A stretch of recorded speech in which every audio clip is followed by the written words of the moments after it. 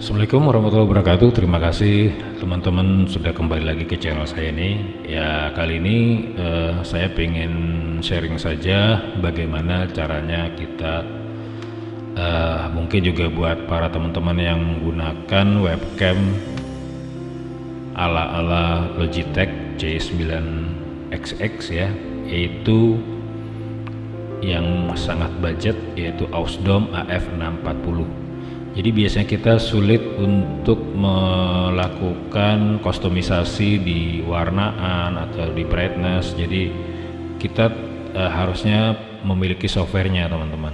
Jadi di sini saya akan ajarkan gimana caranya kita mendapatkan softwarenya. Teman-teman googling dulu ya, buka Google terus diketikkan ini. Ya.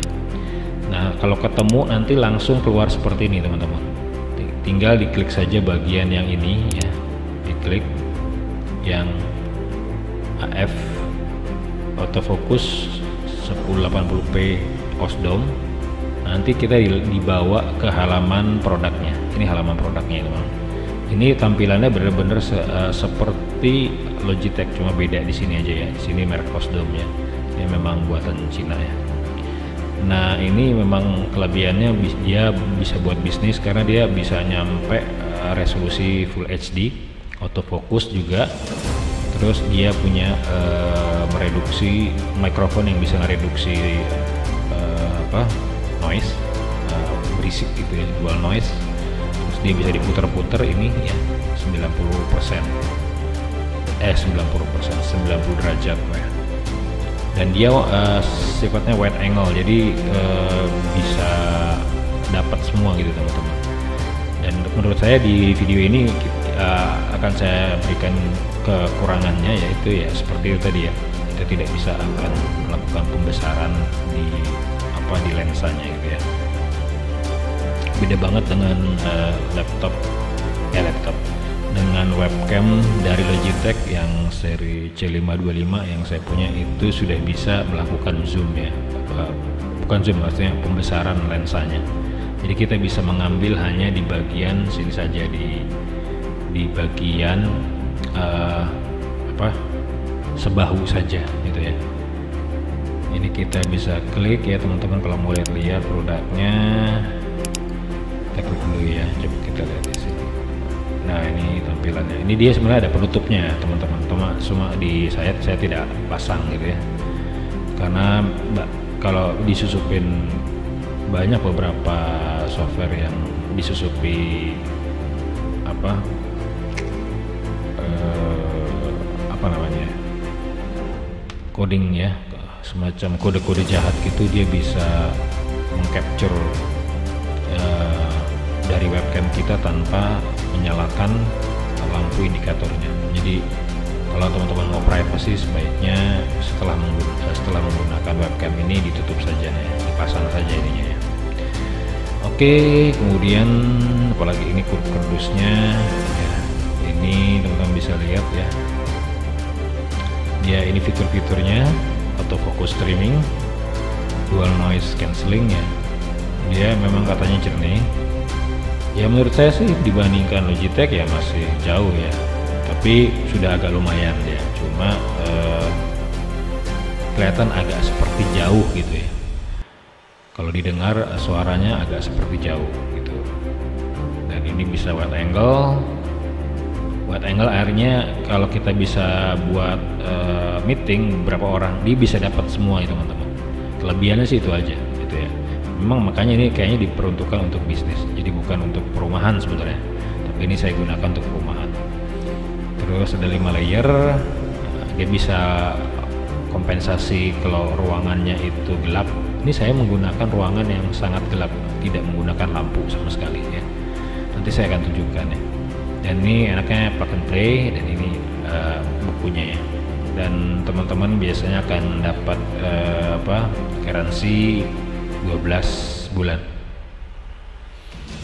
Oke saya rasa ini aja yang bisa kita lihat. Nah sekarang ketika kita ke arahkan ke ke support ya terus kita pilih bagian software download kita klik kita tunggu sebentar. Dan ini ya ada M cap Windows ini sebaiknya teman-teman diklik ya. Diklik untuk di download ya. Dia akan membuka halaman baru seperti ini ya. Kita tunggu sebentar. Nah ini tinggal teman-teman klik plus. Kita download file ya. Kita download file.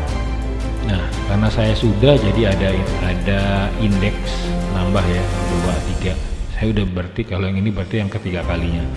Karena saya sudah apa mendownload jadi saya matikan aja saya cancel. Kalau teman-teman belum tinggal klik start download. Oke ini boleh saya tutup ya. Kemudian ini juga sebenarnya bisa kita tutup aja gitu, tapi biarinlah.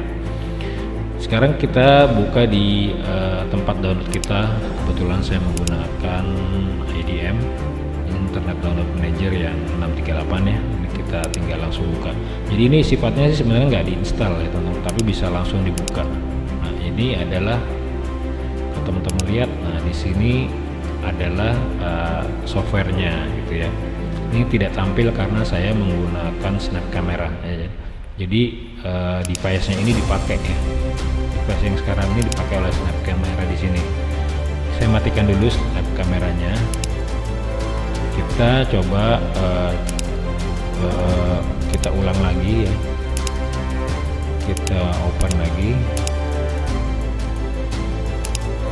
Oke teman-teman bisa lihat di sini uh, saya sudah menggunakan uh, apa webcam dari AF640 ya. Jadi kalau ada teman-teman teman-teman ini kurang teman-teman bisa lihat ini. Ini ruangan saya sebenarnya gelap tapi dia bisa mengcapture low light ya. Uh, penerangan yang, yang gelap atau yang suram. Ya itu fitur yang bagusnya memang. Tapi kalau saya menggunakan lighting di sini sebentar ya. Nah ini ini lighting paling atas terlalu terang ya. Jadi over exposure. Jadi biasanya saya tuh menggunakan yang paling rendah sini aja. Ini udah cukup menurut saya gitu ya. Tinggal teman-teman uh, diklik bagian sini di bagian option kemudian klik video capture filter. Oke. Jadi di sini teman-teman bisa atur brightnessnya bisa dikurangin lagi ya atau kontrasnya mau diturunin. Itu misalnya uh, segini ya. Ini. Terus uh, hue-nya mungkin mau agak lebih merah agak diturun di gerakin ke kiri gitu ya. Kalau yang ke kanan dia akan agak kebiruan kayaknya atau kehijauan gitu ya.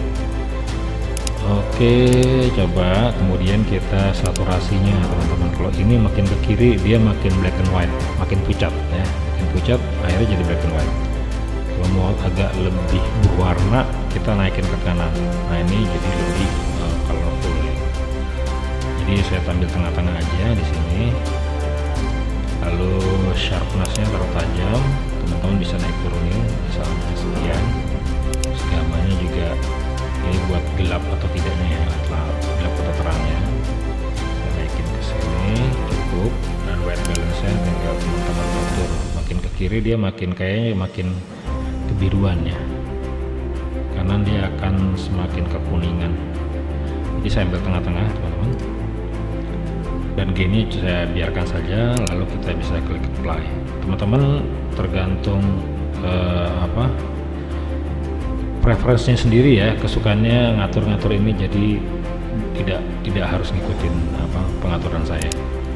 Oke tam udah plus kemudian kita bisa tutup. Dan teman-teman mulai saat ini juga bisa langsung menggunakan untuk